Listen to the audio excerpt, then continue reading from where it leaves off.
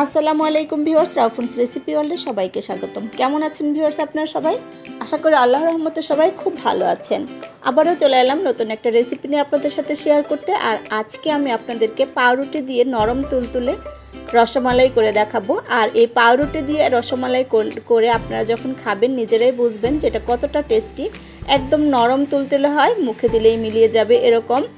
আর খুব সহজে অল্প সময়ে আপনারা ঘরে এই পাউরুটি দিয়ে এই ডেজার্ট রেসিপিটা করে নিতে পারবেন, রসমালাইটা করে নিতে পারবেন। আর এটা খেতেও যেরকম টেস্টি আর করতেও খুবই সহজ, অল্প সময়ে করা যায়। তাহলে চলুন চলে যাই ভিউয়ার্স মূল রেসিপিতে আজকের এই রসমালাই রেসিপিটা করার জন্য আমি এখানে পাউরুটি নিয়ে নিয়েছি। আপনারা বাজার থেকে কিনে নিয়ে আসবেন পাউরুটি, যে কোনো ব্র্যান্ডের পাউরুটি নিতে পারেন।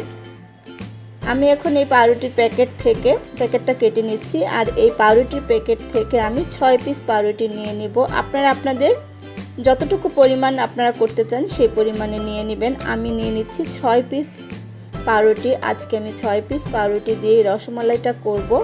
আর এই পাউরুটিগুলো আমি এখন সাইডের যে লাল অংশ আছে, শক্ত অংশটা আছে, এটা কেটে বাদ দিয়ে দিব। অবশ্যই এই অংশটা আপনারা ফেলে দিবেন না, এগুলো রেখে দিবেন। এগুলো দিয়ে আপনারা চাইলে ঘরে সুন্দর করে ব্রেড কাম তৈরি করে নিতে পারবেন। এখন আমি সাইড থেকে এগুলো কেটে ফেলে দিচ্ছি। আর এগুলো দিয়ে আমি রেখে দিব ব্রেড কাম তৈরি করে নিব। আপনারাও চাইলে এগুলো দিয়ে ব্রেড কাম তৈরি করে নিতে পারবেন। সাইড থেকে এরকম কেটে নেবেন। আমি এগুলো সাইড থেকে কেটে নিচ্ছি। আমার রেসিপিটা ভালো লাগলে একটা লাইক দিয়ে দিবেন আর ফ্রেন্ডস ফ্যামিলির সাথে বেশি বেশি করে শেয়ার করে দিবেন। আর কমেন্টস করে জানাবেন কেমন হলো আপনাদের সুন্দর কমেন্টস আমার কাজের অনুপ্রেরণা যোগায়। আর পরবর্তী একটা ভিডিও রেডি করতে আমার সাহস যোগায়। আমি সাইড থেকে সবগুলো পাউরুটির লাল অংশটা মানে শক্ত অংশটা কেটে বাদ দিয়ে দিলাম। এগুলো এখন আমি একটু পিস পিস করে নেব, কারণ এগুলো ব্লেন্ড করতে হবে ব্লেন্ডারে ব্লেন্ড করে নিতে হবে। আমি ছোট ছোট টুকরো করে নিচ্ছি পিসগুলো। আপনারা যদি পুরো রেসিপিটা মনোযোগ দিয়ে দেখেন, আপনারাও খুব সহজেই কিন্তু এই পাউরুটি দিয়ে রসমালাই ডেজার্টটা করে নিতে পারবেন। ছোট থেকে বড় সবাই কিন্তু এটা খেতে পছন্দ করবে। আর এখন আমি ব্লেন্ডারের জগে নিয়ে নিচ্ছি পাউরুটি পিসগুলো। আর এগুলো আমি ব্লেন্ড করে নিব। দুই মিনিট ব্লেন্ড করে নিলেই কিন্তু হয়ে যাবে। এর থেকে আর বেশি ব্লেন্ড করার প্রয়োজন হয় না। একদম সুজি যেরকম মিহিদানা, মিহিদানার সুজি যেরকম হয়, ঠিক সেরকমই হবে ব্লেন্ড করার পর। দেখুন, আমার ব্লেন্ড করে নেওয়া হয়ে গেছে। আর আপনারা দেখেই বুঝতে পারছেন যে কতটা সফট হয়েছে আর একদম মিহিদানার সুজি যেরকম, ঠিক সেরকমই হয়েছে সুজির মতো। এখন আমি একটা বাটিতে ট্রান্সফার করে নিচ্ছি। আর আজকের এই, এটা কিন্তু অবশ্যই, এই দুধ দিয়ে ট্রান্সফার করে নিলাম বাটিতে। এখন আমি দিয়ে দিচ্ছি এক কাপ দুধের তিন, চার ভাগের তিন ভাগ পরিমাণ মানে ওয়ান থার্ড কাপ পরিমাণ আমি দুধ দিয়ে দিয়েছি এখানে। আর দিয়ে দিচ্ছি চিনি। আপনারা চিনিটা আপনাদের টেস্ট অনুযায়ী দিবেন। আমি দুই টেবিল চামচ পরিমাণ চিনি দিয়ে দিচ্ছি। এর থেকে বেশি দেওয়ার প্রয়োজন নেই। আপনারা যদি মিষ্টি বেশি খেতে চান, সেক্ষেত্রে একটু বাড়িয়ে দিতে পারেন। আমি চুলাতে একটা প্যান বসিয়ে দিয়েছি আর এক টেবিল চামচ ঘি দিয়ে দিয়েছি। অবশ্যই ঘিটা কিন্তু দিতে হবে। আর এখন আমি সেই যে পাউরুটির মিক্সারটা করে নিয়েছি, সেটা আমি এখন দিয়ে দিচ্ছি প্যানে। আর চুলার জালটা কিন্তু অবশ্যই লো হিটে রাখতে হবে। কোনোভাবেই কিন্তু চুলার জালটা বাড়িয়ে দিবেন না।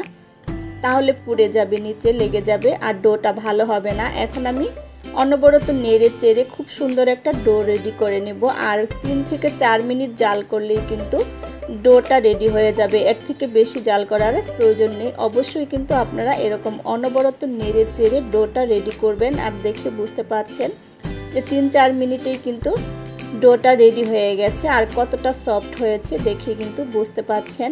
আমার ডোটা কিন্তু রেডি হয়ে গেছে। এখন আমি চুলা থেকে নামিয়ে নিব। একটু ঠান্ডা করে নিব চুলা থেকে নামিয়ে। আমি চুলা থেকে নামিয়ে নিলাম, এখন একটু ঠান্ডা করে নিয়েছি। এখন আমার ডোটা ঠান্ডা হয়ে গেছে, কুসুম কুসুম গরম আছে। এই অবস্থাতেই এখন আমি ডোটা রেডি করে নেব মানে মথে নেব। মথে নেওয়ার আগে আমি এখানে ওয়ান ফোর্থ কাপ পরিমাণ গুঁড়ো দুধ দিয়ে দিয়েছি, আর এক টেবিল চামচ পরিমাণ ঘি দিয়ে দিলাম।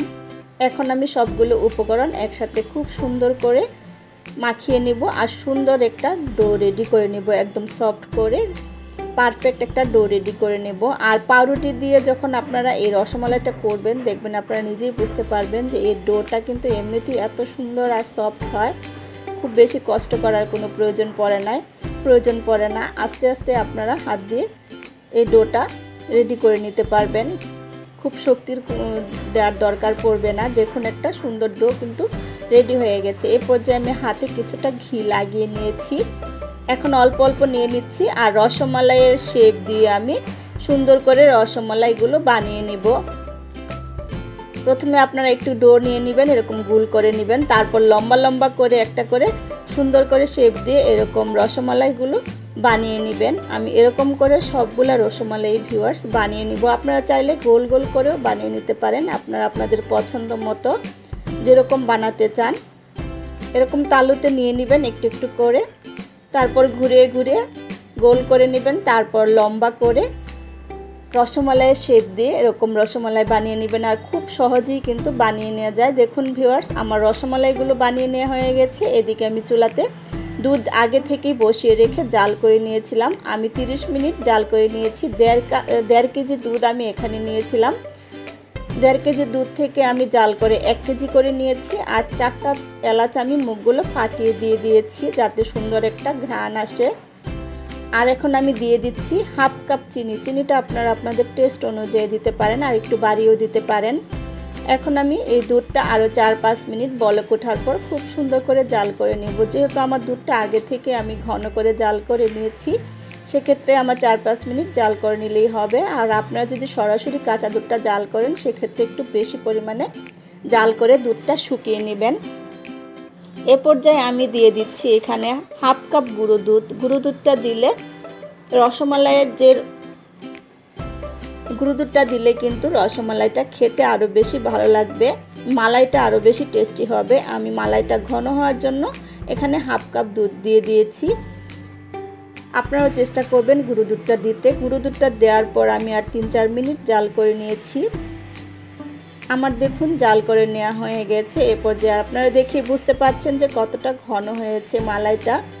এ পর্যায়ে আমি যে মিষ্টিগুলো বানিয়ে রেখেছি পাউরুটি দিয়ে সেই মিষ্টিগুলো এখন আমি দুধের মধ্যে দুধের মধ্যে দিয়ে দিব। চুলার জালটা একটু কমিয়ে দিয়েছি আমি, কমিয়ে দিয়ে তারপর আমি এক এক করে মিষ্টিগুলো দিয়ে দিচ্ছি। আস্তে আস্তে কিন্তু দিয়ে দিবেন। একবার আবার দিতে যাবেন না, যেহেতু পাউরুটি দিয়ে আমরা এই মিষ্টিগুলো তৈরি করেছি।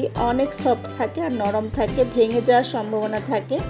সেজন্য আস্তে আস্তে চুলার জালটা কমিয়ে তারপর এভাবে একটা একটা করে দিয়ে দিবেন। আর মিষ্টি দিয়ে কিন্তু অবশ্যই কোনোভাবেই নাড়াচাড়া করা যাবে না। মিষ্টি দেওয়ার পর কিন্তু আর সাত থেকে আট মিনিট জাল করে নিলেই রেডি হয়ে যাবে রসমালাইটা। আর নাড়াচাড়া করবেন না, আমি পেঁচলা দিয়ে হালকা করে একটু নেড়ে দিয়েছি, এরপর আর নাড়া দিব না। এরকম পাতিলের হাতলে ধরে একটু পর পর এরকম নেড়ে দিবেন, তাহলেই কিন্তু হবে। আর চামিচ দিয়ে নাড়াচাড়া করবেন না, তাহলে ভেঙে যাবে খুব সহজেই কিন্তু, কারণ এগুলো অনেক নরম থাকে। আমার কিন্তু জাল করে নেওয়া হয়ে গেছে সাত আট মিনিট। আমি এলাচগুলো উপর থেকে ফেলে দিয়েছি। এখন আমি চুলাটা বন্ধ করে দিয়েছি আর কিছুটা ঠান্ডা হলে আপনাদের সাথে পরিবেশন করছি। আর আপনারা দেখে বুঝতে পারছেন যে এটা কতটা ইয়ামি হয়েছে।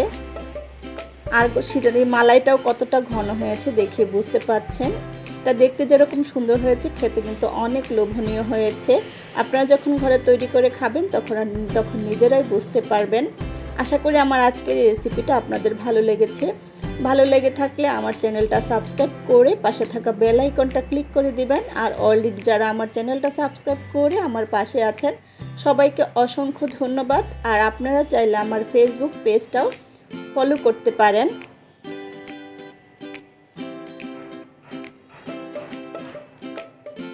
আজকের মতো বিদায় নিচ্ছি। দেখা হবে পরবর্তী কোনো রেসিপিতে সে পর্যন্ত সবাই ভালো থাকবেন, সুস্থ থাকবেন। আল্লাহ হাফেজ।